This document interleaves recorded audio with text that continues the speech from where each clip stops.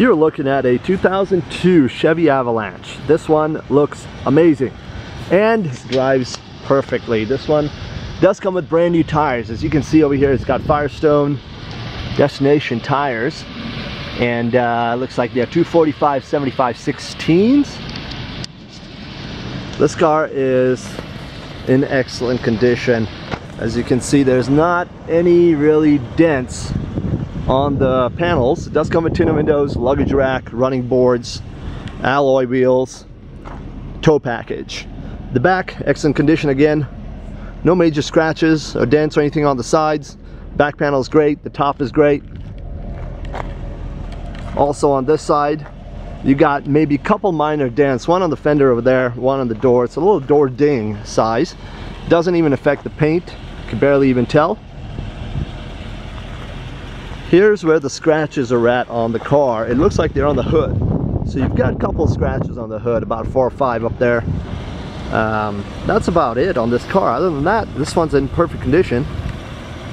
Drives really fast down the highways, taking it up to about 80, 85 miles an hour, and it was perfect. Um, no alignment issues or anything like that. Just really nice, really nice truck. And this one is the 8.1 502 motor, which is very hard to find. These are very rare. They're excellent for towing.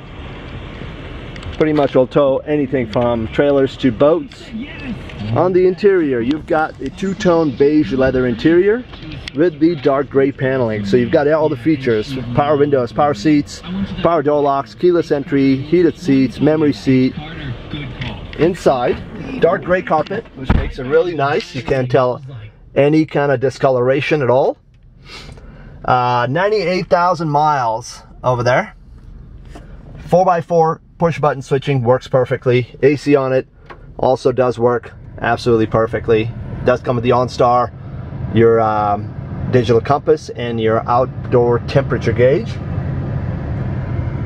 As you can see, the interior is in really nice condition. This is a non-smoker car, so no marks or anything, no smells. Does come with the Chevy logo seats. Also, the back is in excellent condition. All around, this truck is really, really nice. This is probably one of the higher rated ones. It's just superb, and it does come with the trailer brake system also right down there.